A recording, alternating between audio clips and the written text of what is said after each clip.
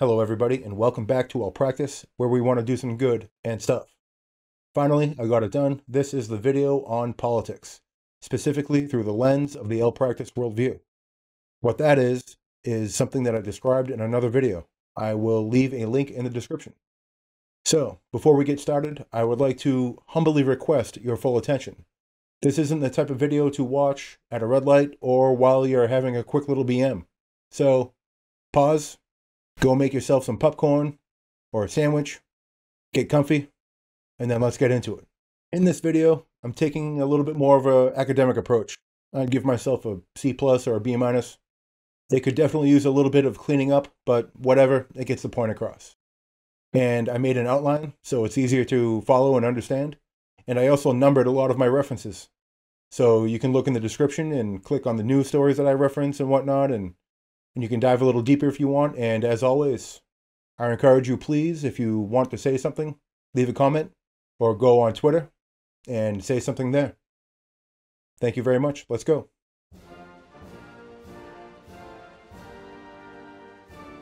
The United States of America.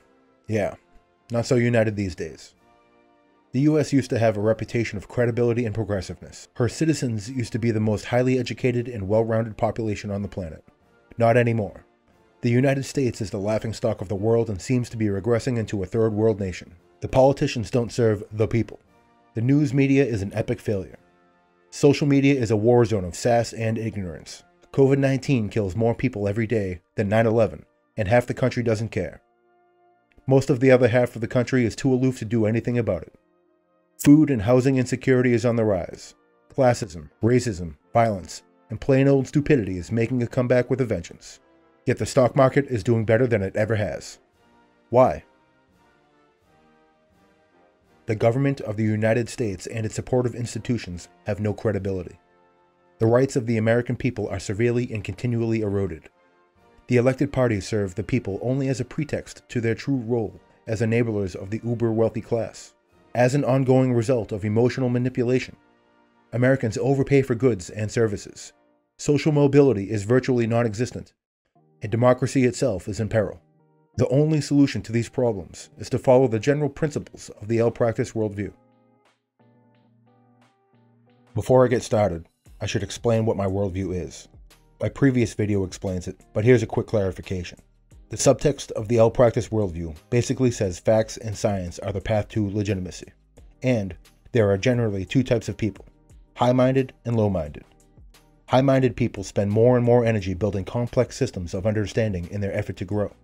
High minded people will adjust their outlook based on evidence and facts so they maintain credibility and efficacy. Manipulating the high minded by appealing to their base emotions is difficult because they base their emotions on legitimacy and facts. Low minded people have stagnant mindsets, are not receptive to new ideas. They serve their impulses and reject things outside their zone of familiarity. Being low minded is fine. People should live how they want. However, the low minded are easily manipulated because they base their decisions on emotional impulses. When discussing serious things like climate change or doing something important, like serving in public, only high minded people have the potential to maintain credibility. A high minded person in a crisis will rely on training, address professionals, etc., etc., and adjust their viewpoint and move ahead. A low minded person in a crisis will act on instinct. For example, a low minded person would throw water on a grease fire because that action is reactionary. Being low minded does not mean someone is a bad person. However, people who manipulate the predictable behavior of the low minded with ill will or selfish intent are dangerous for society. This type of person should not be trusted to serve others. Now, let's take a look at today's political situation through the lens of this worldview. Looking at the government of the United States, with the aforementioned concepts of credibility and high low mindedness in hand. It has no credibility to the people and essentially serves the uber wealthy.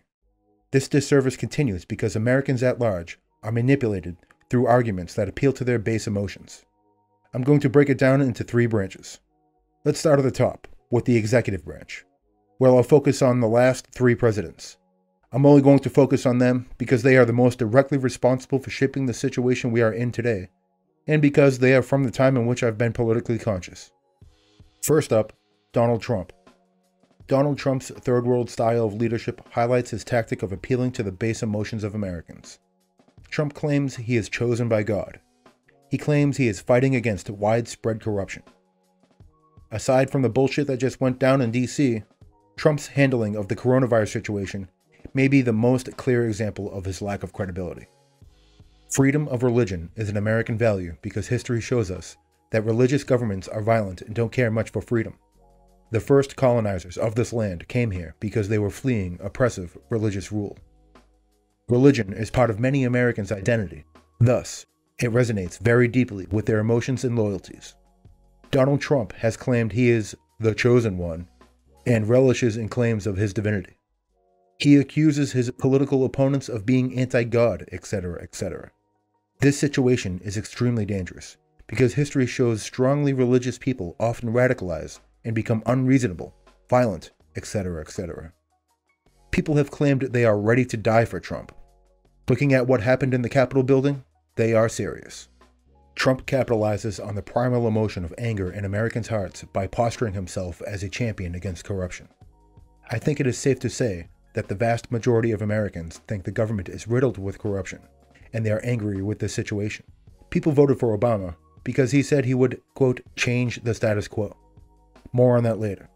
People voted for Trump because he said he would drain the swamp and because he is a, quote, political outsider. The idea that Trump fights corruption is simply untrue.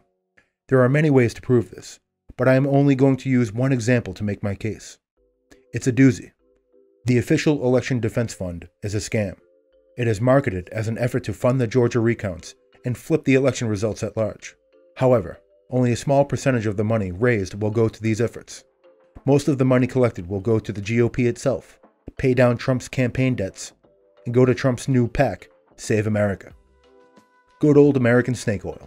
It's ironic how the fund's donors think they are combating corruption when they are literally paying into it, especially so considering people have been chanting, destroy the GOP, at Trump rallies. Got him! Here, Trump is again appealing to the anger in people's hearts, not their brains quote, election defense, and quote, save America, on the surface seem like good things. A bit of objective research shows how those titles are just manipulations. Arguably, the most severe example of Trump's lack of credibility is in his handling of COVID 19. Now, more Americans die per day from the virus than 9 11. In the US, the death toll is surpassing 360,000. Due to his tribalist rhetoric and corrupt legislation, his followers don't believe the deadly consequences of not social distancing or wearing masks, and wealth disparity is accelerating. One of the jobs of the US president is to mitigate the effects of a crisis, not worsen them. Conclusively, Trump is a classic example of a tyrant. There is no way I can convey the severity of his threat to democracy. Books will be written about the things he has done and the people he has inspired for a hundred years. He appeals to people's fear and anger to suppress his opponents. He has no credibility because he encourages lawlessness and willful ignorance. He is supposed to defend the people and the Constitution, yet he inspired a riot that resulted in an attack on the Capitol building when Congress was in session. That didn't even happen during the Civil War. There are many other examples of Trump's self serving manipulations, but it seems no matter what happens, Wall Street continues to break records. That's why it's time to move on to the other side of the coin. Now, let's talk about how Barack Hussein Obama used many of the same tricks to betray the trust of the public and serve Wall Street investors. First off, I want to say that I am proud that the citizens of this country finally elected an African American to the highest office. What Barack Obama did was one of the greatest achievements in history. However, sadly, I think that was his only real achievement. Honestly, I don't know if Obama failed to achieve what he wanted to do, or if he was working for the banks and CEOs the whole time. Ultimately, it doesn't matter because what's done is done. He won the election because he appealed to the hope in people's hearts by saying he was going to change the status quo and take the country back from bankers and CEOs, etc., etc. He appealed to the goodness in people's hearts by saying he would bring affordable health care, social justice, and end the wars in the Middle East. Epic failure. Barack Obama reinforced the status quo. He showed the banks and CEOs are above the law. He cowed to the thuggery of Mitch McConnell and allowed the GOP to radicalize into a third world party. And he reinvented the wars in the Middle East by allowing the rise of ISIS. Thanks, Obama. Obama appealed to the hope and angst in people's hearts by saying he would provide affordable health care and advance social justice. His method worked, and he won the presidency. However, he failed to deliver on his promises. Yes, the people have health care, but we Americans are so used to getting ripped off, we don't understand how expensive and low quality our health care is. The OECD is the Organization of Economic Cooperation and Development. Its members and partners make up 80% of world trade and investment. The US, the richest country ever, spends almost twice the share of its GDP on healthcare than the average OECD country. And the US has the highest rates of chronic disease, obesity, and the lowest life expectancy. Not so good for the people, very good for the investors. Thanks, Obama. Again, Obama appealed to the hope and sense of justice in people's hearts by saying he would take the country back from the bankers and the CEOs. That did not happen. Many Americans, and people around the world, lost their livelihoods due to the 2008 financial meltdown. Obama did what he was obligated to do by bailing out the necessary banks and industries so the country could keep running. But nobody was held liable for the actions that caused the meltdown in the first place. Thanks, Obama. The most expensive thing in history is the American military. Look it up yourself. The numbers are staggering. Many Americans are upset at how much it costs, and they are upset with perpetual war in the Middle East. Obama appealed to these people by saying he would end the wars and eventually withdraw American forces. As is American tradition, politics made the war foobar. The only thing Obama really did was introduce drone warfare. Obviously, it didn't change much. ISIS became the new big scary threat, so there's that. Thanks, Obama. Mitch McConnell was more powerful than Obama, and he set the tone for the GOP until they radicalized into the Third Reich under His Majesty Donald Trump. I'm going to summarize here because everything I'm saying is available for anyone to look up, and because I know I'm not going to convince anybody who already has a position.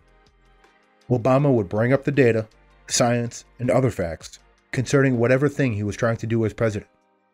Mitch McConnell and the GOP would say they don't believe Obama. That's it. End of conversation. It happened over and over again. Was it failure?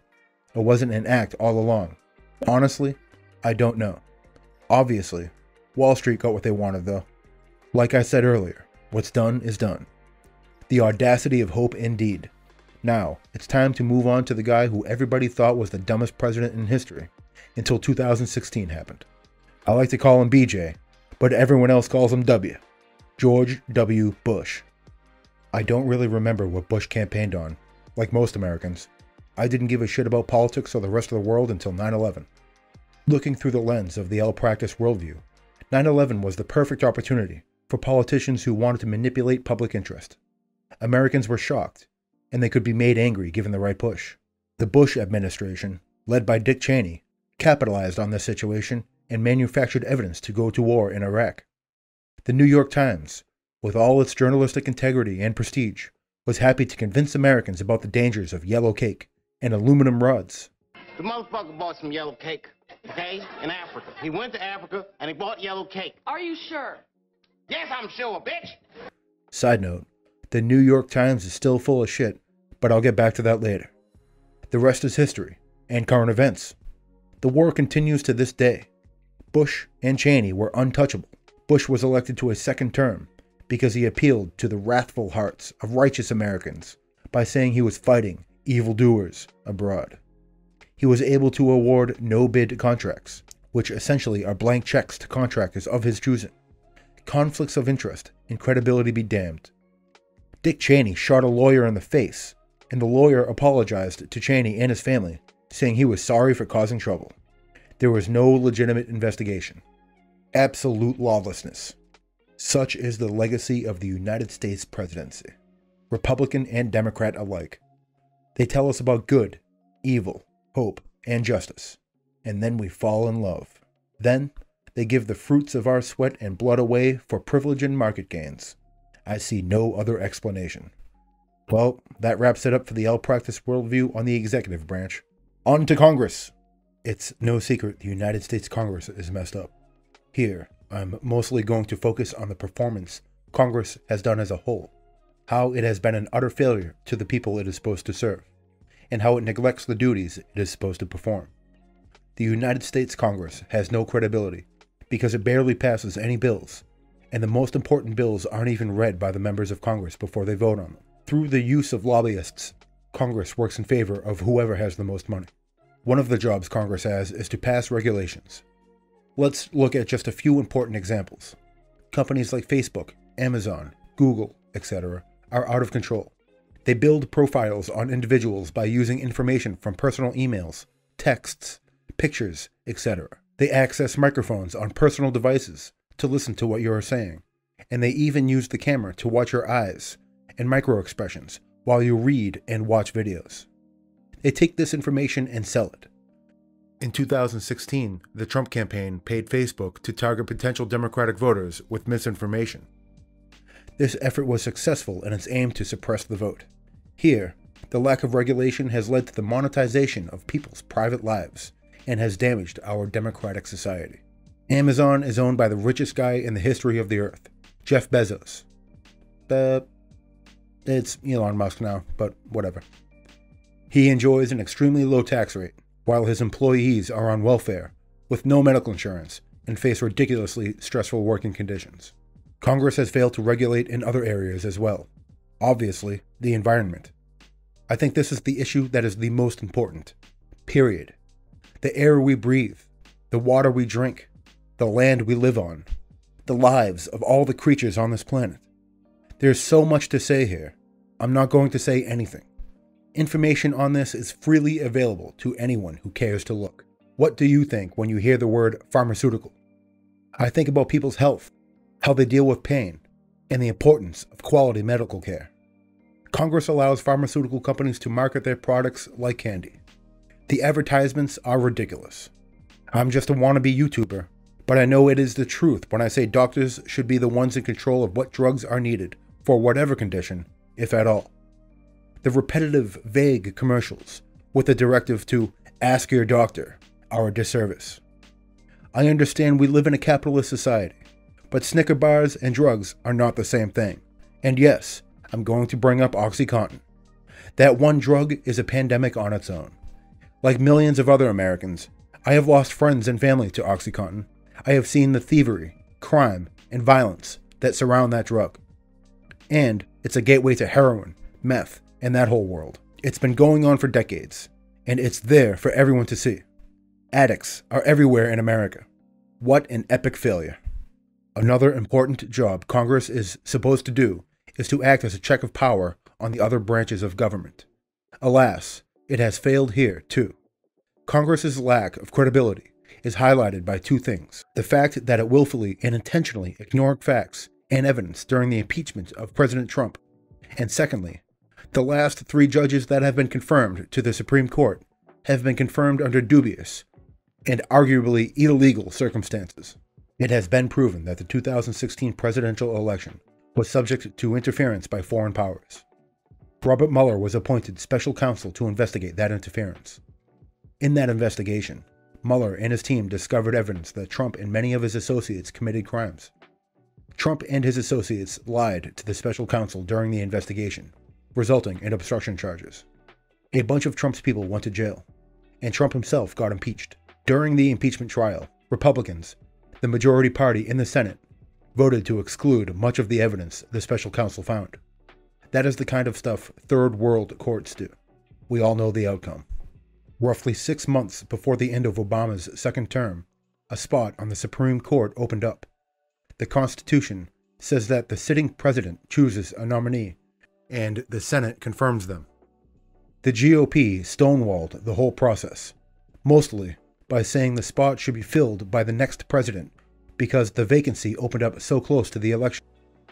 I see some logic there, but that is not what the Constitution dictates, and as usual, Democrats cowed and let Obama lose his pick. Trump became president, and he nominated Gorsuch, a shill for big business, and the Senate confirmed him. In 2018, another spot opened on the Supreme Court. Trump nominated Brett Kavanaugh, and this pick turned out to be a bit of a controversy. During the confirmation process, In a display of anger and paranoia, Kavanaugh scrunched up his face and shouted about some Fox News Clinton family conspiracy theories. All judges, especially Supreme Court justices, are expected to act separate from their personal emotions and keep a cool head at all times. This is a direct concern of the El Practice worldview. Keeping the prefrontal cortex engaged at all times is the only way to maintain credibility. Kavanaugh lost emotional control because of a few questions he knew were coming. To be honest, I don't like the Clintons very much either, but not for the reasons Fox News outlines on their whack job shows. In a display of complete disregard for their duties, the Senate confirmed him. In 2020, yet another spot opened on the Supreme Court, this time just two months from the election. The Republicans contradicted themselves and now argued that no matter how close to an election, the sitting president chooses who fills Supreme Court vacancies. Again, as usual, the Democrats caved, and just six weeks before the election, the Senate confirmed Amy Coney Barrett, a religious extremist, to the Supreme Court.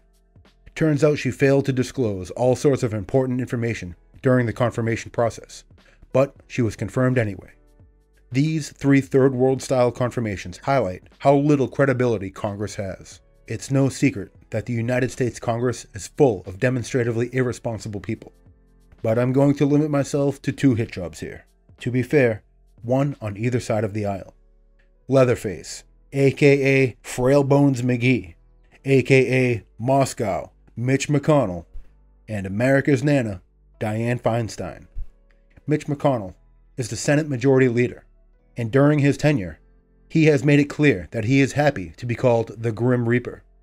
He has been dubbed so because he has halted an extraordinary amount of legislation from progressing into law. He kills bills, they say. This man is proud to be known for being antithetical to the job he was elected to do. The oldest senator and one of the most powerful Democrats, Dianne Feinstein, has repeatedly shown she cannot handle her duties anymore. During official proceedings, she has shown she forgets things instantly, and there is a growing list of other examples of her cognitive decline. Some people keep their wits their entire life, some don't. Flatly, she is not qualified to hold such an important, difficult position in public service. Just these two alone, and the fact that they are leaders in Congress, highlight the void of credibility Americans are forced to endure. There is much more that can be said about Congress and its lack of credibility. I'm only going to dance around one more thing and then move on. Income.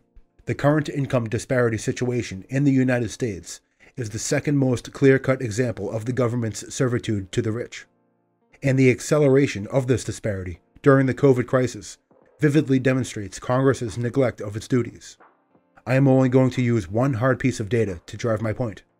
At the start of COVID, the 650 richest American citizens had an average wealth 400,000 times greater than the poorest 165 million citizens. Today, that ratio has increased to 500,000 to 1. I'm going to try to do an animation to visualize this. Astounding. By no means am I a contemporary conservative, but I do have some actual conservatism running through my veins. I believe some people are destined to be poor because they are lazy, etc., etc., and that is a popular position among so called conservatives. However, to say the poorest 165 million American citizens are poor because they don't work hard or whatever is flat out wrong. This is thievery. Rich people and companies have the money to lobby Congress, and as a result, they pay a minuscule ratio of their income to taxes. And whenever Congress gets the chance, they give the rich more and more handouts. The COVID stimulus bills are no exception. Massive amounts of money go to people and companies that don't need it, or spend it in a way that doesn't help with the crisis. On December 30, 2020, under pressure to send $2,000 payments to people making less than $75,000 a year, Moscow Mitch said there has been enough stimulus. Up to 40 million people are facing eviction, and even more are facing financial ruin due to the COVID crisis.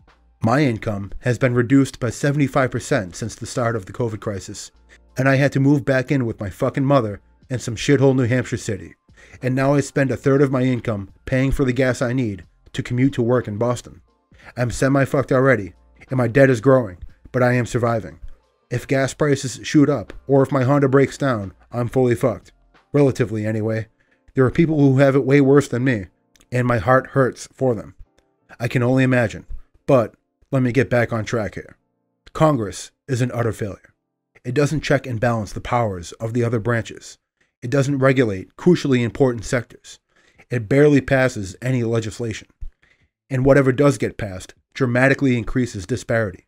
It's embarrassing to talk about Congress with people from other nations. Our representatives are clowns. People defy congressional subpoenas and nothing happens. What a joke. That said, it's time to move on and talk about everybody's favorite branch of government to not talk about the judicial branch. Court's adjourned.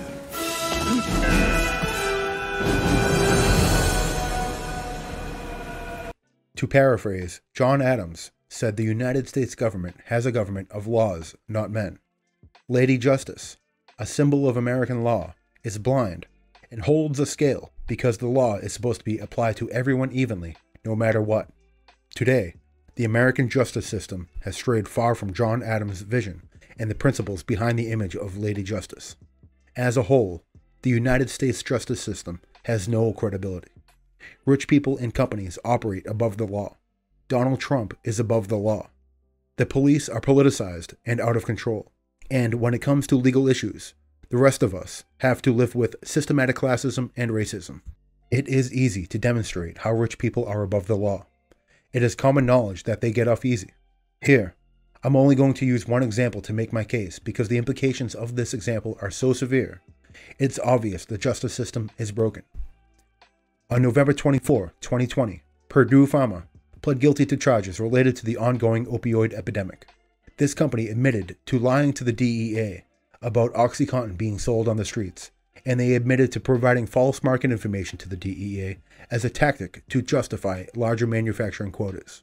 Purdue Pharma admitted to bribing doctors to write more OxyContin prescriptions, and they admitted to bribing a medical records company to forward patient information that would encourage even more doctors to prescribe OxyContin. As a result, as of today, over 250,000 Americans have died because of these actions, specifically. Nothing is mentioned about the millions of people who are still addicted and are actively ruining the lives of other people. Nothing was said about the people who transitioned to heroin and other hardcore drugs because they couldn't get the Oxycontin anymore. Nothing was said about the crime and extreme violence that surrounds opioids. Purdue Pharma, which is owned and operated by the Sackler family, has been fined $8.3 billion through a process of bullshit legal trickery the company and the family are expected to pay up to only $225 million each, something they can easily afford. No jail time for anyone. Members of the Sackler family have acknowledged their role in the opioid epidemic, yet they refuse to publicly apologize. This is an outrageous failure of justice and a betrayal of the American people. This is just the latest, greatest example of how the United States justice system retains zero credibility to the people it is supposed to serve. People and institutions have let their impulses and loyalties override their ability to reason, behave, and fulfill their duties. The facts are the facts, though. Donald Trump is a criminal. Yet no departments or courts are holding him responsible. I'm not a lawyer, so I'm going to use a few widely reported examples to highlight Trump's criminality that have no wiggle room where I could have misinterpreted. Trump used campaign funds to pay Stormy Daniels to be quiet about their affair. He did this to prevent damage to his chances of winning the 2016 presidential election. That is illegal. Trump has violated the emoluments clause in the Constitution maybe hundreds of times. This law basically says that a government official cannot use their position to garner titles, gifts, money, etc. Trump has used his own hotels, clubs, etc., to host government officials and functions many times. There are reports of his businesses price gouging when they are used by the government as well. According to the Emoluments Clause, this is flat out illegal. It is a federal offense to encourage other people to commit a federal offense. On September 3, 2020, Trump made his first in a series of tweets that encouraged people in North Carolina to vote twice in the presidential election. The tweet was recognized as illegal immediately. If American justice was blind and fair, Trump would be in jail right now for any one of these things. There is much more that he has done that is flat out illegal, and much, much more that is evidence of illegal activity. Now, I'm about to piss some people off. I'm going to say some shit, then say but, then say some real shit. I believe the police are a necessary part of any civil society. Honor and sacrifice should be acknowledged, but seriously, the police in America are out of control. It's a tradition and the duty of the American public to criticize the government. So, I'm going to do just that. The evidence I'm about to refer to could be argued as anecdotal, but make your own decision. There are dozens of YouTube channels of people who call themselves cop watchers or First Amendment auditors. A few videos show the police being professional and honorable of the oaths they take.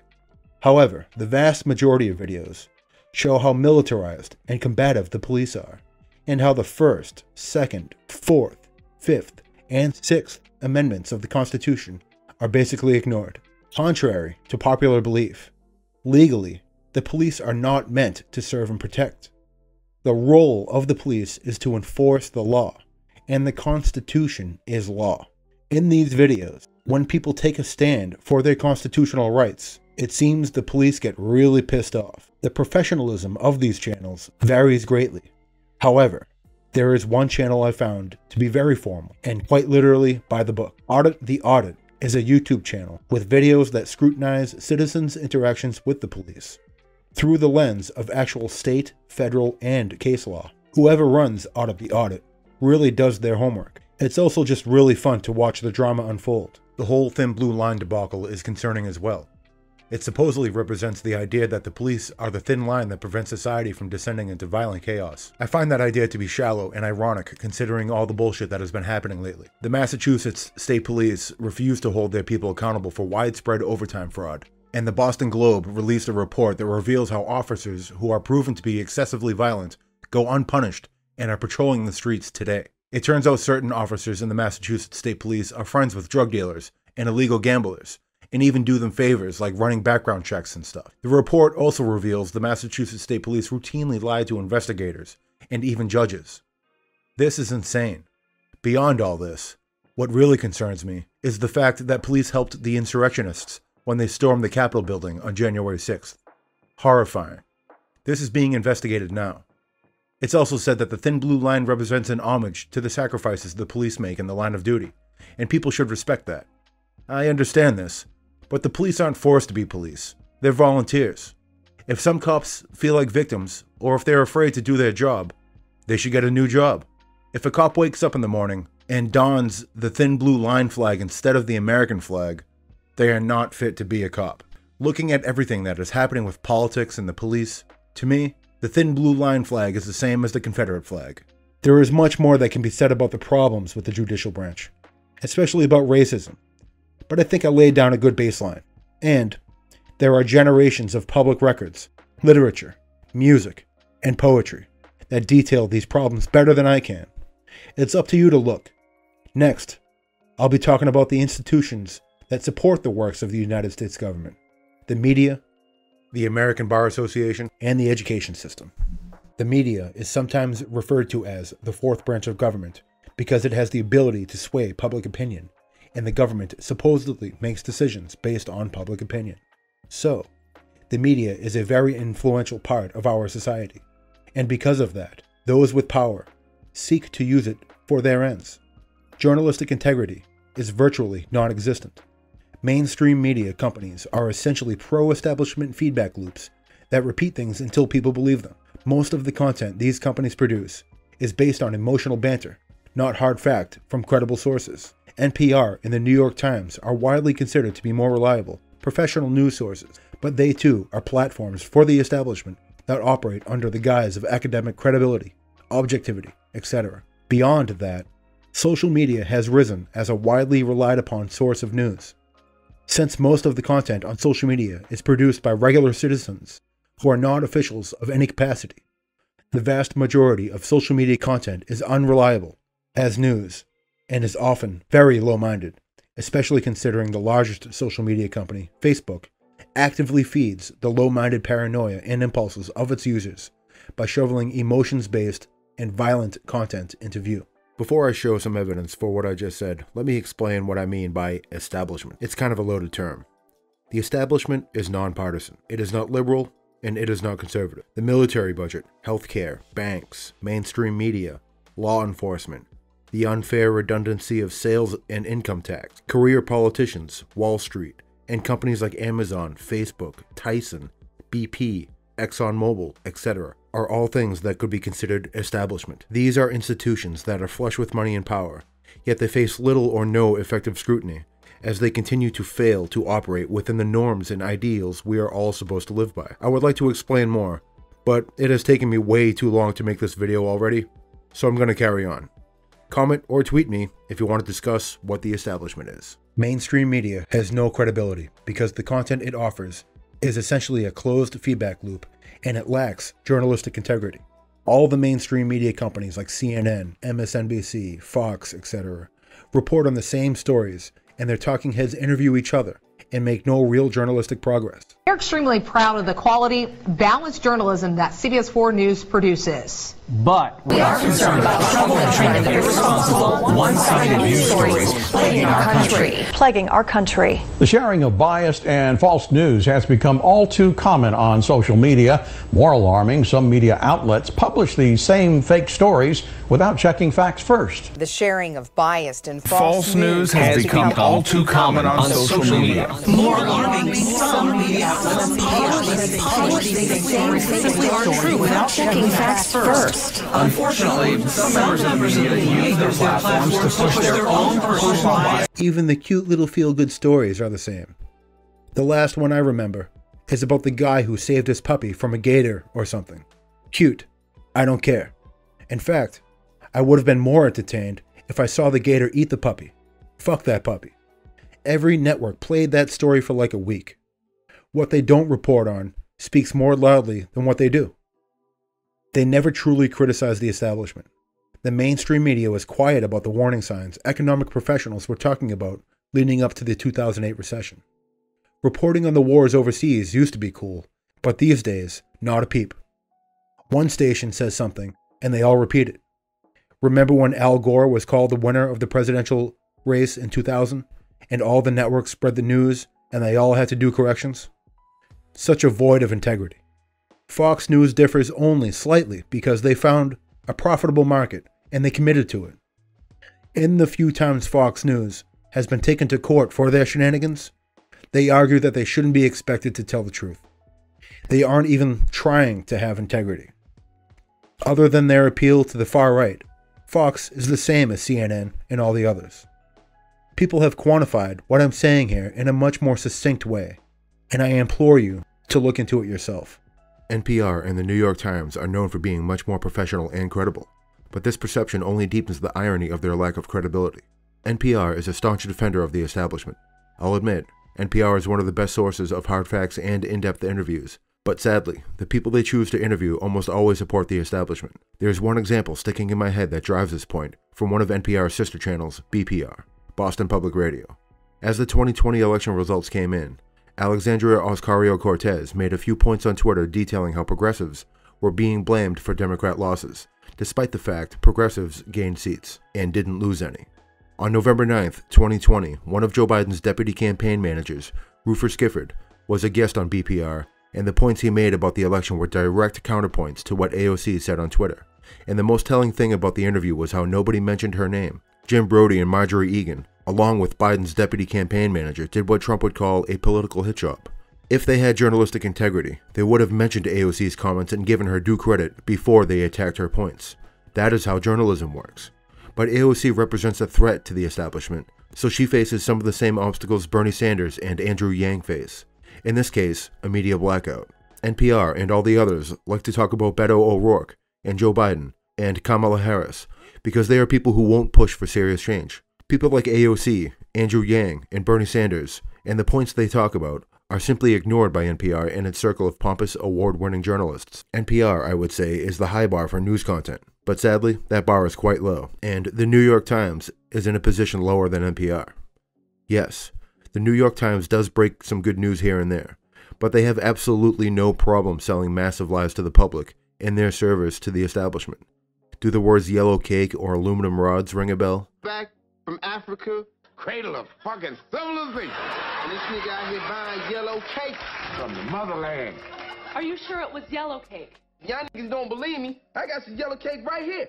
Look, you see, you believe this shit now? Don't drop that I, shit. You know I The New York Times convinced the American public it was necessary to go to war in Iraq by lying about WMDs on behalf of the Bush administration. And as usual, all the other major news outlets repeated these lies for years because journalistic integrity is a myth. Yeah, that was decades ago, but America is still fighting that very same war funneling hundreds of billions of dollars into the pockets of companies that are good at lobbying. Looking at global stability today, I don't see that war ending anytime soon. The New York Times is still up to the same old tricks. In 2020, they had to retract most of their podcast series, Caliphate, because they didn't vet any information again. The editors admit to falling in love with the story, and thanks to the El Practice worldview, we all know emotions have no place in any effort that requires professionalism and diligence. That excuse is bullshit anyway. It's a confirmed pattern of behavior. The goal here was to romanticize war and to keep it justifiable in the minds of the public. Now, let's move on to the absolute bottom of the barrel of toxic sludge Facebook. Facebook is an extraordinarily unhealthy thing for individuals and the public at large. It is the most brazen tool of the establishment, with its data harvesting and the ability to manipulate public consensus. Facebook actively pushes people to embrace a low minded, impulsive, emotional disposition. They do this by allowing political ads and commentary that is straight up fake and hostile, and by showing its users a mind numbing stream of violent, bigoted, tribalist content. Because of this, El Practice will never be on Facebook. However, I personally have a Facebook account because it is the best way to keep tabs on family and Facebook Marketplace is very convenient. Yep, I'm a hypocrite. Never said I was perfect. Sometimes, when I have a few minutes to kill, I'll scroll to the video section. This is the stuff that I see. It disgusts and offends me to the core, yet I am entertained because of my nature and my worldview. My opinions and outlook are not really affected by this lore to the dark side but I see how people who don't understand the importance of skepticism are. Stuff like this is why civility in America is going down the shitter. There are a lot of lawyers involved in the process of government. There are rules of conduct lawyers are supposed to follow, set forth mostly by the American Bar Association, because of the importance of what they do. However, looking at the actions of some high profile lawyers, it has become obvious these rules are not fully enforced. Thus, this is another situation where the United States government loses credibility. The lies Rudy Giuliani and other Trump lawyers boldly tell should result in their disbarment at a minimum. Back in 2019, during the Ukraine scandal, Giuliani was vigorously defending Trump, which raised questions whether he was working for him or not. He told The Atlantic he is, quote, not working for Trump. But also, at other times, he claimed he had attorney client privilege in regards to the details around the debacle. This is a clear cut violation of the conduct rules lawyers are supposed to obey. This is just one small example of Giuliani's misconduct, yet this alone should get him disbarred. I think the most telling example of how the American Bar Association refuses to enforce its own rules took place during Trump's impeachment. Trump's defense team, led by Pat Cipollone and Jay Sekulow, told lie after lie throughout the impeachment process. And they weren't slick about it either. The things they said were obviously and demonstratively wrong. They were under oath as well. They defied the rules of the American Bar Association and lied under oath. They should be in jail. Nothing happened. Stuff like this is a clear sign to bad actors that abusing power comes with no consequences. A betrayal of the legal process by those sworn to defend it. The lack of accountability and credibility is immense, yet the American public at large seem to not really care. Why? We'll discuss that in the next section Education. The single most important part of any civilized society is education. Without a baseline knowledge of facts, history, and critical thinking skills, civil order is unobtainable. Without a good education, people rely on their impulses and emotions to make decisions and become easy to manipulate. I don't have to get into the details of why the American education system is a failure, because it's obvious. The American public is dumb as shit. American discourse is based on loyalty and emotion, not fact and procedure. Half of this country has been manipulated into thinking climate change is fake. Half of this country thinks pollution doesn't do anything. Half of this country thinks coronavirus is fake. Half of this country thinks the earth is 6,000 years old. Half of this country supports violence over discourse, and most of the other half doesn't care. I remember in seventh grade learning about the Romans who poisoned themselves because they drank from lead cups. I remember thinking how dumb they were. We know lead is bad, yet we drink from lead pipes. Our stupidity is aggressively growing. We get our news from organizations that have no credibility. We elect leaders who have conflicts of interest. The American diet is based on cheeseburgers and bacon, and woke people think chemical burgers designed to increase profit margins are the smart alternative. The American public is so dumb. We have been accustomed to being duped and ripped off. Our medical care is subpar, yet it is the most expensive on earth. Our military costs more than the next 20 plus militaries combined, yet we can't win wars. We let the richest pay almost no taxes, while their employees pay rent and buy food with welfare money. And most ironically, many Americans who pay for an education or go into decades of debt to obtain one still live with their parents after college because good paying jobs are not being offered. After World War II, everybody said never forget. And with this mindset, culture blossomed and progress literally skyrocketed. Well, we forgot.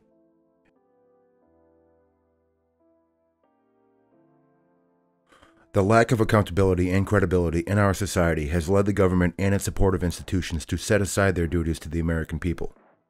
Both major political parties are riddled with corruption. Republicans rule by manipulating people's fear and anger, and Democrats rule by manipulating people's hopes. Over the past few decades, the vast majority of American people have been coerced into a loss of rights, public service, and wealth. Civility is at its lowest point since the Civil War. Climate change is accelerating. Coronavirus has killed over 400,000 Americans and isn't slowing down. Vast swaths of American people are addicted to legal and illegal drugs. The police are politicized, act as a gang, and allowed a mob to attack the Capitol building while a joint session of Congress was taking place. Systematic racism and classism prevail. A college education doesn't guarantee a good job. Rich people and companies benefit from corporate welfare but don't pay taxes and are above the law. Lawyers successfully argue against the proven truth, and subpoenas are ignored without consequence. Low minded, emotionally based opinions override fact. Wall Street is doing better than it has ever done, though. Half the country thinks a guy who grew up shitting on golden toilets wants to solve these problems, and most of the other half thinks a career politician who allowed all this stuff to happen in the first place can solve them. What most Americans care about the most, though, is two day delivery and extra cheese. Looking at the past, it is natural for societies to subject their peoples to unnecessary hardships and to rise and fall. However, the United States was built so people could live free in a system that would endure. American values led to unprecedented advancements in culture, understanding, and progress. It's sad to watch our society stop putting energy into the systems that allow new ideas and complexity to rise. We are witnessing the de-evolution of our society back to the natural resting state of human nature, where aggression and violence rule. This has happened to many societies before, but this time it's different. It's different now because we have weapons that can destroy the planet, and even if we don't use our weapons, our way of life will. The very air we breathe and the ground we live on is at stake. What we do here, in this country, the most powerful, most knowledgeable, most influential country that has ever existed, determines the fate of the human race. I see a path to solving these problems. Step 1 Elect leaders that care. Obviously, the GOP is essentially a third world regime, and the Democrats are full of shit. It shocks me how people are all about Joe Biden when it was him and his style of Democrat that allowed the radicalization of the GOP and the rise of Trump. Both parties hate AOC, Bernie Sanders, Andrew Yang, etc. for a reason. They seem like a good place to start. Pro tip don't listen to what anybody has to say about them. Look and see for yourself. Step 2 Enforce the law fairly and evenly. This will remove most of the bad actors from the situation and act as a deterrent. Step 3. Audit everything. Audit every government department and every company that has deep ties to the government. This will root out more crime and save shitloads of money down the road. Step 3. Reform everything. Reform transit systems so they work. Reform prison systems so they rehabilitate. Reform healthcare so people don't have to become an addict because they broke their arm. Reform the police so all people can go about their business without being afraid. Reform tax code so everybody pays their fair share and social programs are funded. Reform the banking and credit systems because 32% interest is insane. Reform education so the public at large regains critical thinking skills, etc., etc. You get the point. Just do the right thing. Doing this will be hard, but it would create a lot of opportunities. It has been done in the past. We can do it again. I'm calling this section semi pragmatic because I believe and hope this stuff can happen, but I really don't think it's going to. I see a clear path to solving these problems. Embrace the concept of cosmic evolution. I touched upon this in my previous video, the El Practice Worldview. In order to survive, we must suppress our willfulness and spend more and more energy in order to sustain and make more complex systems. We have some energy stored right now, but ultimately, all our energy comes from the sun. So let's start there. First, we use what energy and scientific knowledge we have right now to build a sustainable agriculture system that produces healthy food. We take this healthy food and feed it to children who will use those calories to study the basics. As they grow, they should spend their calories studying the achievements and failures of the past and learning critical thinking skills. Then, as they get older and form interests, they spend more and more energy mastering the complex systems already in existence. Then, they spend more energy building new, more complex, more effective systems than the ones that already exist. Maintain old systems until they become obsolete. That is progress. American government and society did the same thing. In a letter to his wife Abigail Adams, written by John Adams on May 12, 1780, he said, I must study politics and war, that my sons have the liberty to study mathematics and philosophy. My sons ought to study mathematics and philosophy, geography, natural history, naval architecture, navigation, commerce, and agriculture, in order to give their children the right to study painting, poetry, music, architecture, statuary, tapestry, and porcelain. Energy must be spent learning about the past, or the past will be forgotten, and mistakes will repeat themselves. And that is all I got to say about that. This is El Practice. And if you want to live forever, like and subscribe.